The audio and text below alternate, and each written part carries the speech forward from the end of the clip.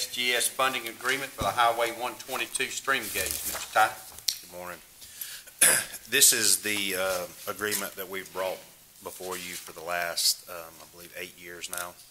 Um, After the 2009 floods, we worked with USGS to have a stream gauge installed on the um, bridge over the Little River on Highway 122, just west of Hahira.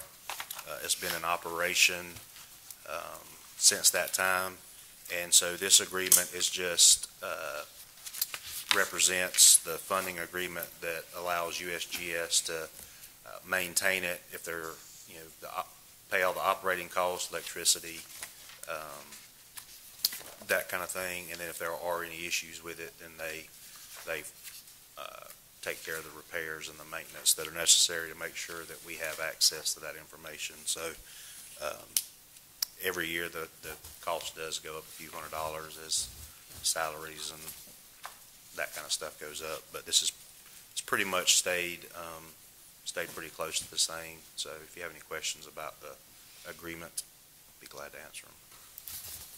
Mr. Tye, would it be fair to say that this gauge uh, on Highway 122 has, has proven to be very, very useful for the citizens of Lowndes County as far as helping identify areas of early flooding?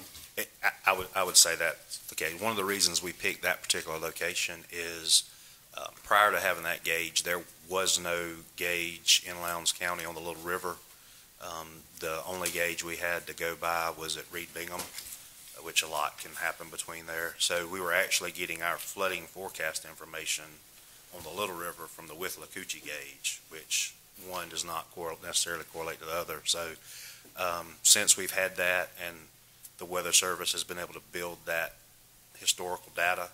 Um, we've actually moved from the point of having nothing to the point of now they can actually issue forecasts when we're expecting flooding and issue flood warnings specific for the Little River, which provides those citizens along that area with um, a lot more accurate information to make the decisions they need to. So it has been very beneficial for Which the Little River is uh, about half of our western boundary of Lowndes County. Yes, sir. Yes, sir. Any questions? Thank you, Mr. Tye.